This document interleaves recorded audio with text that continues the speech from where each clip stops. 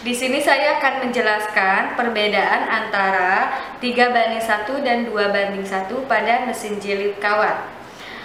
Untuk 3 banding 1, untuk kapasitas jilidnya bisa dilihat ini adalah contoh 3 banding 1 dengan diameter lubangnya itu 4 mili dan untuk kapasitas jilidnya dia bisa untuk 25 lembar sampai 125 lembar. Sedangkan untuk hasil lubang yang 2 banding 1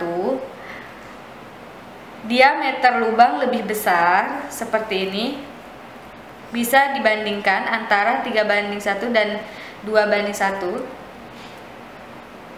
untuk 2 banding 1 kapasitas jilid dari 125 lembar sampai 250 lembar.